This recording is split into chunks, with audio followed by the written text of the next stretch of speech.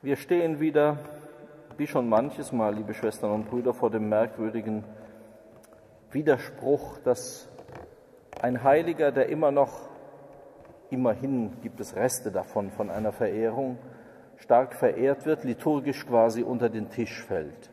Blasius ist so einer. Und das ist deshalb merkwürdig, weil wir von ihm kaum etwas wissen, außer wie der große Oratorianer Baronius in seiner Kirchengeschichte festhält, dass er Bischof von Sebaste war, dieser Blasius, also in Armenien, und 316 bei einer Christenverfolgung ums Leben kam. Und dennoch macht sich an diesem Heiligen so viel fest. Nicht nur, dass wir eine starke Verbindung zu der östlichen Christenheit in ihm haben, als die Kirche noch ungeteilt war.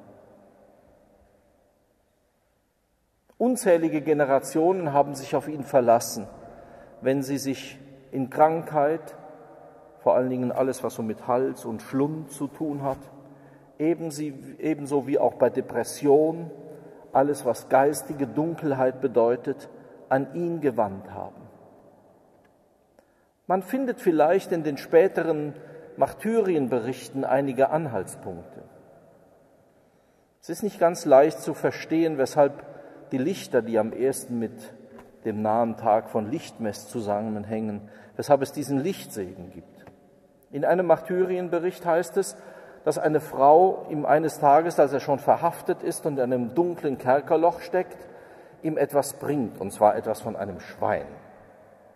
Jenes Schwein nämlich, das einzige dieser Frau, das er gerettet hat. Die Berichte unterscheiden sich hier ein wenig. Aus dem Maul eines Wolfes oder aus dem Maul eines Bären. Aber das tut nicht so ganz viel zur Sache.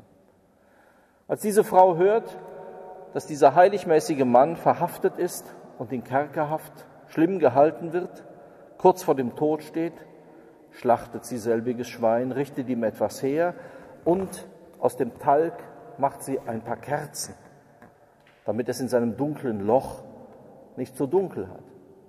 Und der Bischof ermutigt sie, immer wieder Kerzen anzuzünden. Und es sind Frauen, die immer wieder zu diesem Kerker ziehen, sozusagen eine kleine Lichterprozession machen und für diesen Heiligen beten. Und er verspricht es umgekehrt für diese Frauen und für alle, die sich auf die Kraft Christi verlassen, zu beten. Nach einem anderen Bericht, als er dann das Martyrium erleiden muss, sind es zwei Kinder. Schön, dass heute Abend zwei Kinder da sind, das passt sehr schön.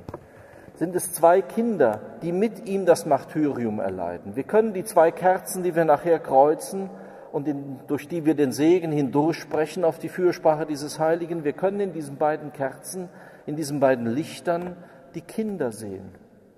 Unschuldige Kinder, die hell leuchten, deren Zeugnis hell leuchtet und die immer das ist die ursprüngliche Kraft des Christentums, von der die ersten Christen schon sagten, ihr Gebet wird immer erhört. Das Gebet der Kinder dringt durch alle Wolken, dringt sofort zu Gott. Da gibt es keine Umwege. Das ist ein schönes Sinnbild.